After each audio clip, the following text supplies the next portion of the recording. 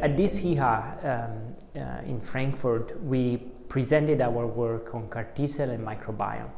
And so uh, the, um, the role of the microbiome has become pretty clear with immune checkpoint inhibitors and solid tumors.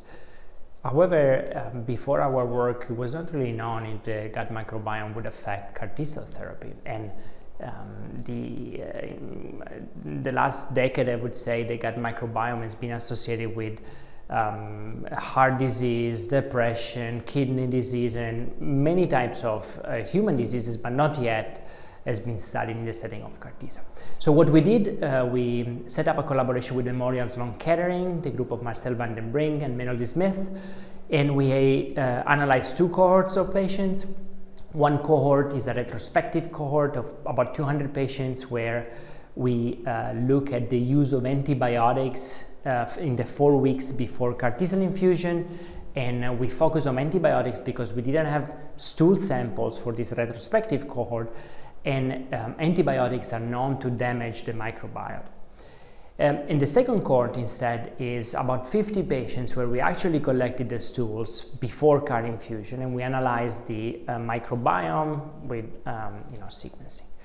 And so the results were pretty interesting because we saw that um, in the retrospective cohort, patients receiving antibiotics were doing worse as compared to patients not receiving antibiotics both in terms of progression-free survival and overall survival. Then we focus on a specific subset of antibiotics that we call PIM, P-I-M, um, that include uh, piperacillin tazobactam, uh, imipenem, and meropenem. Why we chose them? We chose them because they are known to damage the gut microbiome.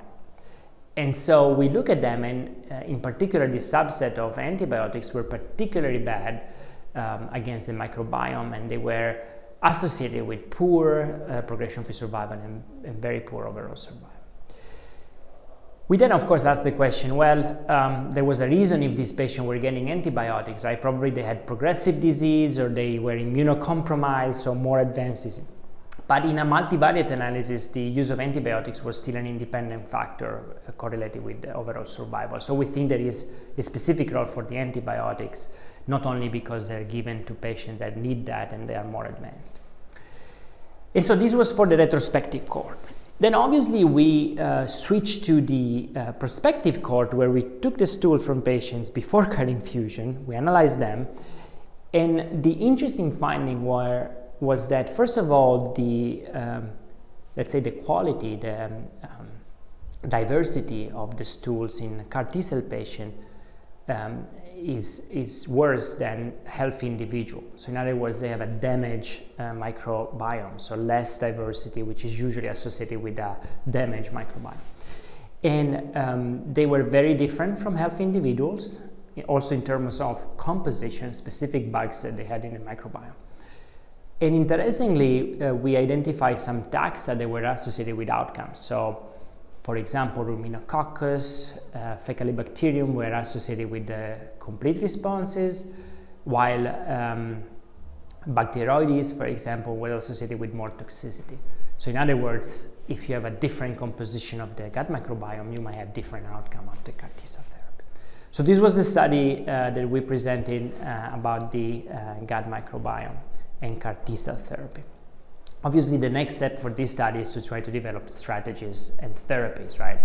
And so, following the example of immune checkpoint inhibitors, you might you might think about using fecal material transfer, using prebiotics, probiotics together with CAR T cell, but we need more work in the lab to and also in the clinic um, in terms of correlative studies to really identify the best approach.